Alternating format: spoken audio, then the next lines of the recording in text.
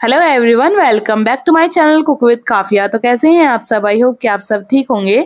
आज मैं आपके साथ शेयर करने वाली हूँ नहारी की बहुत ही ज़्यादा स्पेशल रेसिपी इतनी इजी रेसिपी है, आप इसको देख के झटपट नहारी बना सकते हैं और बहुत ही ज़्यादा मज़े की नहारी ये बनके तैयार होती है। तो चलिए इसको बनाना स्टार्ट करते हैं। नहारी बनाने के लिए एक स्पेशल मसाला तैयार करेंगे हम। तो इसके लिए मैं लिया है यहाँ पर दो टेबल स्पून धनिया। तो साबुत धनिया यूज़ कर रही हूँ मैं यहाँ पर। और एक टेबल स्पून ले रही हूँ सौंफ। सात से आठ मैंने यहाँ पर ले ली है लौंग। लौंग गर्म होती हैं तो ज़्यादा ना यूज़ करें। फिर दो बड़े चम्मच मैंने लिया है यहाँ पर सफ़ेद वाला ज़ीरा, जो नॉर्मली हम घर में यूज़ करते हैं, ये वही वाला है। और मैंने यहाँ पर ले ली है काली मिर्ची। एक चम्मच मैंने ली है तकरीबन। एक चौथाई मैंने ले लिया है जायफल का टुकड़ा।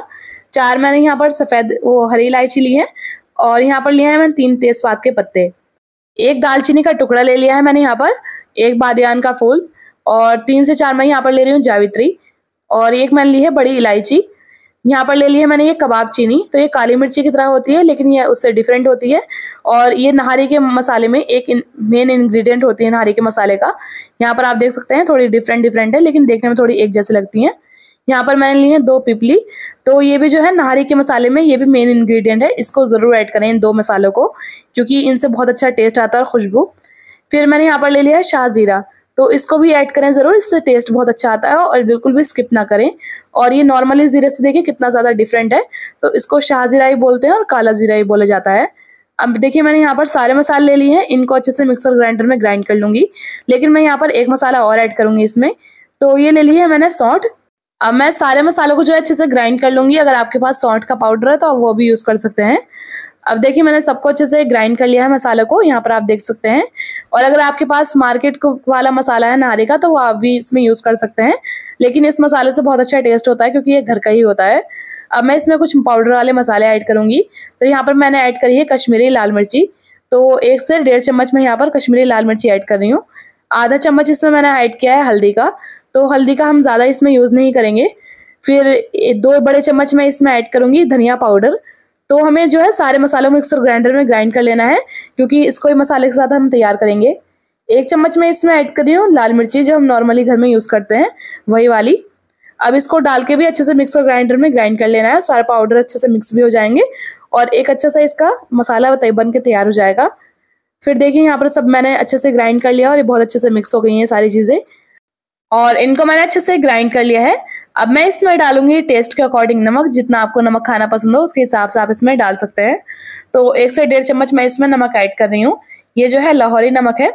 अब देखिए, मैंने सारा मसाले को अच्छे से ग्राइंड कर लिया और एक प्लेट में निकाल लिया है इसको। और देखिए, कितना बढ़िया इसका कलर आया और अच्छे से हमारा मसाला जो है तैयार हो गया है। अब मैं इसको एक साइड रख दूँगी। अब मैंने यहाँ पर कुकर ले लिया है, इसमें मैं डालूँगी तेल। तीन बड़े चम्मच जो है तेल के यहाँ पर डाल देना है। सरसों का तेल यूज़ कर रही हूँ मैं इसको। अब तेल को अच्छे से गर्म कर लेना है। दो मीडियम साइज़ के मैंने यहाँ पर प्याज काट ली है। उनको मैं तेल में अच्छे से फ्राई कर लूँगी। तो ये जो है मैंने यहाँ पर प्याज को दो मीडियम साइज़ की काटा है और इनको जो है थोड़ा बारीक काटा है मैंने। अब इसको बस इतना ही पकाना है। ज़्यादा इसको ब्राउन नहीं करना। बस हल्के से जब कच्चापन आपको दिखने लगे तो इसमें मैं डाल दूँगी गोश्त। तो मैंने यहाँ पर तकरीबन एक किलो ये गोश्त ले लिया है। इसको अच्छे से मैंने यहाँ पर मिक्स कर दूँगी। तेल में और, और प्याज में डाल के इसको अच्छे से फ्राई कर लेना है। आप जितने की गोश्त की बना रहे हो, उसके हिसाब से आप इसमें मसाला भी ले सकते हैं और तेल और प्याज भी डाल सकते हैं। तो मैं यहाँ पर एक किलो गोश्त की बना रही हूँ नहारी तो इसको अच्छे से मिक्स कर लेना है। फिर देखिए, अच्छे से पक रहा है। साथ ही मैं इसमें ऐड कर दूँगी लहसुन अदरक का पेस्ट तो यहाँ पर जो है, मैंने दो बड़े चम्मच लहसुन अदरक का पेस्ट ले लिया है। इसको डाल के भी इसमें अच्छे से मिक्स कर लेना है। और लहसुन अदरक का पेस्ट जो है, इसमें ज़्यादा डलेगा क्योंकि इससे टेस्ट बहुत अच्छा आता है। अब इसको अच्छे से मिक्स कर लेना है और आँच को जो है यहाँ पर तेज़ ही रखना है या फिर मीडियम कर लें आँच को अगर आप ज़्यादा इसमें चम्मच नहीं चला रहे हैं तो। और चार से पाँच मिनट इसको ऐसे ही पका लेना है। और जब ये अच्छे से पक जाएगा तो मैं इसमें डाल दूँगी नहारी वाला मसाला जो मैंने रेडी करके रखा हुआ था। तो अगर आप इसको ज़्यादा बना रहे हो तो स्टोर करके रख सकते हैं, लेकिन मैंने एक किलो गोश्त के ही लिए बनाया था तो इसलिए मैं सारा इसमें मसाला ऐड कर दूँगी। अगर आपने ज़्यादा बनाया है तो इसको स्टोर कर रख दें, और जब आप नहारी बनाएँ तो इसको डाल सकते हैं। आपको बाहर से मंगाने की ज़रूरत नहीं पड़ेगी। अब देखिए, मैंने इसमें मसाला डाल दिया है, इसको अच्छे से मिक्स कर लूँगी, और इसको कुछ देर जो है मसाले के साथ यहाँ पर पका लूँगी। मसाला डालते ही आप देखेंगे कलर बहुत अच्छा आएगा, और बहुत ही बढ़िया देखने में ये लगेगा भी आप देख सकते हैं यहाँ पर। साथ ही मैं इसमें ऐड कर दूँगी पानी तो एक गिलास जो है पानी ऐड कर दिया है मैंने इसमें। एक से डेढ़ गिलास पानी ऐड करना है, ज़्यादा नहीं ऐड करना, क्योंकि अगर आप ज़्यादा पहले पका लेंगे तो ज़्यादा इसमें पानी ऐड नहीं करना पड़ेगा। तो तकरीबन डेढ़ गिलास मैंने इसमें पानी ऐड कर दिया है। जो घर में हम पानी पीते हैं जिससे, वही गिलास से मैंने इसमें पानी ऐड करा है। अब देखिए, मैंने इसको अच्छे से पका लिया है। अब लास्ट में इसमें ऐड करूँगी, ये जो नली है, इसको जो है लास्ट में ऐड करना है, वरना अगर आप इसको पहले ही पका लेंगे साथ में तो इसके जो सारा अंदर का होता है, वो निकल जाएगा। अब मैं इसमें सीटी लगा लूँगी। अब इसमें तीन से चार सीटी लगा रही हैं और इसको मीडियम फ्लेम पे रख देना है। साथ ही मैंने यहाँ पर ले लिया एक फ्राई पैन। इसमें डालूँगी मैं डेढ़ चम्मच बेसन का और इसको डाल के जो है मीडियम फ्लेम पे मतलब लो रखनी है फ्लेम को और इसको अच्छे से भून लेना है। बेसन का जब तक भूनना है, जब तक इसका कलर चेंज नहीं हो जाता तो यहाँ पर आप इसका कलर देख सकते हैं और मैं आपको दिखाऊँगी जब ये भून जाएगा, उसके बाद का कलर। ये देखिए, ये बहुत अच्छे से भुन गया है, खुशबू भी बहुत अच्छी आने लगी है। अब मैं इसको उतार लूँगी उसको छन्नी में छान कर इसका जो ये मोटे मोटे यहाँ पर आपको चंक्स दिख रहे हैं, इसको छन्नी में छान लूँगी। यहाँ पर देखिए अच्छे से भुन गया है और ये देखिए, मैंने छन्नी में इसको छान भी लिया है और इसको ठंडा करके रख दिया है।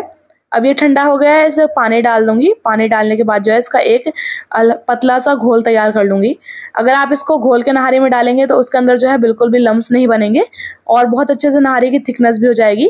तो इसलिए मैं इसको अच्छे से घोल कर यहाँ पर ढाल रही हूँ बेसन को। इससे बहुत अच्छा टेस्ट भी आएगा और गाढ़ी भी बहुत अच्छे से हो जाएगी ये। बिल्कुल देखिए, इसको कंसिस्टेंसी एकदम पतली रखनी है, ज़्यादा गाढ़ी नहीं रखनी। ये तैयार हो गया है मैं यहाँ पर कुकर खोल के देखती हूँ, हमारी नहारी जो है वो तैयार हुई है या नहीं। ये देखिए, ये बहुत अच्छे से तैयार हो गई है सारा ऑयल इनने अच्छे से रिलीज़ कर दिया है। तो इसका जो ऑयल है ऊपर ऊपर का, वो मैं निकाल के एक कटोरी में निकाल लूँगी। क्योंकि जब मैं इसको आगे पकाऊँगी, सारा ऑयल जो है मिक्स हो जाएगा नहारी में, इसलिए मैं इसको एक कटोरी में निकाल के अलग से रख लूँगी। सारा ऑयल ऐसे ही निकाल लेना है आपको भी। अब मैं यहाँ पर जो है सारी नहारी एक भगोने में पलट लूँगी। तो यहाँ पर मैंने एक बड़ा सा भगोना ले लिया है, इसमें सारी नहारी जो है पलट दी है। और सारी तरी भी मैंने देखिए इसकी उतार ली है। साथ ही मैं इसमें अब ऐड करूँगी बेसन का घोल जो मैंने बना के रखा था। तो इसको डालते ही आप देखेंगे इसकी कंसिस्टेंसी जो है बहुत ज़्यादा चेंज जाएगी। अब ये काफ़ी पतली है और मैं आपको बाद में दिखाऊँगी कुछ देर इसको पकाने के बाद। तो अब मैंने ये बेसन डाल दिया है, इसको हल्की आँच पे पकाना है बिल्कुल, ज़्यादा तेज़ आँच पर नहीं पकाना। साथ ही मैं इसमें ऐड कर दूँगी प्याज का पाउडर तो मैंने यहाँ पर जो है प्याज को फ्राई करके इसका पाउडर बना रखा है। तो मैं एक्स्ट्रा रखती हूँ ऐसे ही बनाकर, अगर आपके पास नहीं है तो आप इसको प्याज को फ्राई कर सकते हैं और इसका पाउडर बना के डाल दें। और आप चाहें तो मार्केट से भी तली हुई प्याज आती है, उसका पाउडर बना के भी डाल सकते हैं, या फिर आप इसको स्टोर करके भी रख सकते हैं। अब मैं इसको हल्की आँच पे जो है, जब तक पकाऊँगी, जब तक इसकी कंसिस्टेंसी जो है गाढ़ी नहीं हो जाती तो अब मैं इस पर ढक्कन ढक दूँगी और इसको कुछ देर पका लूँगी ऐसे ही 10 से 15 मिनट तक। हल्की आँच पे पकाना, ज़्यादा तेज़ आँच नहीं करनी। अब देखिए मैंने इसको 10 से 15 मिनट पकाया है सिर्फ़, और इसकी कंसिस्टेंसी देखिए, पकने के बाद कितनी कम रह गई है। पहले ये काफ़ी ज़्यादा पतला था, और ये यहाँ तक था जितना मैं आपको निशान तक दिखा रही हूँ। और ये देखिए, पककर कितना ज़्यादा कम हो गया है, और इसकी कंसिस्टेंसी ऐसी हो गई जैसे नहारे की होती है। तो यहाँ पर ये अच्छे से पक गया है, मैं इसको गैस बंद कर दूँगी और इसको निकाल लूँगी। साथ ही मैंने इसके लिए काट लिए हैं यहाँ पर अदरक के लच्छे, और ये जो मोटी वाली हरी मिर्ची होती है वो काट ली है मैंने। और क्योंकि ये नहारी में डल के बहुत अच्छी लगती है, नींबू काट लिया है मैंने। यहाँ पर देखिए, वो तरी ले ली है मैंने जो मैंने उतार के रखी थी। मैं नहारी के अंदर नहीं डालूँगी इसको। जैसे जैसे मैं सर्व करती रहूँगी, उसको डालती रहूँगी। अगर आपको नहीं करना तो आप नहारी के अंदर सीधा इसको डाल सकते हैं। अब देखिए, मैं यहाँ पर नहारी को सर्व कर रही हूँ, इसके ऊपर से तरी डाल रही हूँ और कितनी ज़्यादा ये टेस्टी लग रही है देखने में ही। और यहाँ पर इसकी कंसिस्टेंसी देख सकते हैं कलर आप देख सकते हैं, बिल्कुल ऐसा है जैसे नहारी का होता है, जैसे हम बाहर से मंगाते हैं। बिल्कुल इसी तरीके से नहारी बन के तैयार हुई है। साथ ही मैं इस पर डाल रही हूँ अदरक के लच्छे। क्योंकि ये डाल के नहारी बहुत टेस्टी लगती है और हरी मिर्ची डाल रही हूँ। तो लीजिए रेडी हो चुकी है हमारी टेस्टी से नहारी की रेसिपी तो ये बहुत ज़्यादा टेस्टी बन के तैयार हुई है। आप भी इसको एक बार ट्राई ज़रूर करें। अगर आप इसको घर में ट्राई करेंगे तो आपको बाहर से मंगाना बंद कर देंगे। इतनी ज़्यादा टेस्टी लगती है ये और बहुत ही झटपट बन के तैयार भी हो जाती है। तो अगर आपको ये रेसिपी अच्छी लगी है तो प्लीज़ वीडियो को लाइक कर दें। मेरे चैनल पर नए हैं तो प्लीज़ चैनल को सब्सक्राइब करें और ज़्यादा से ज़्यादा शेयर करें। मुझे कमेंट में बताएँ आपको ये रेसिपी कैसे लगी। मिलते हैं नेक्स्ट वीडियो में न्यू टेस्टी रेसिपीज़ के साथ। Thanks for watching this video